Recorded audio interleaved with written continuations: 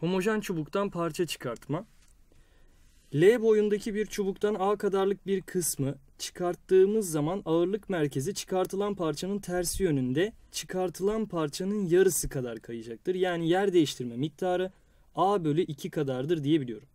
Homojen çubukta parça katlamada ise L boyundaki bir çubuğun A kadarlık bir kısmını kendi üstüne katladığımız zaman kütle merkezi yine katlanılan parçanın tersi yönünde ve katlanılan parçanın karesinin ilk boyuna oranı kadarlık bir yer değiştirecektir diyebiliyoruz. Yani delta x eşittir a kare bölü l'dir diyorum. Boyu 150 santim olan homojen düzgün bir çubuğun bir ucundan 20 santimlik kısmı kesilip atılıyor. Çubuğun ağırlık merkezi kaç santim yer değiştirmiştir? Yer değiştirme miktarı parça çıkartmada çıkartılan parça bölü 2 idi.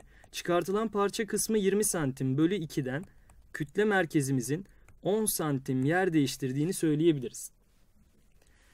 100 santim boyundaki türdeş çubuğun 20 santimlik kısmı kendi üzerine katlanıyor. Çubuğun ağırlık merkezi kaç santim yer değiştirir? Çubuğun ağırlık merkezi katlama sorularında katlanılan parçanın karesi bölü ilk boydu. Yani 20'nin karesi bölü ilk boyumuz içinde 100 santimdir diyorum. Buradan da artık 400 bölü 100'den kütle merkezimizin 4 santim yer değiştirdiğini söyleyebiliriz.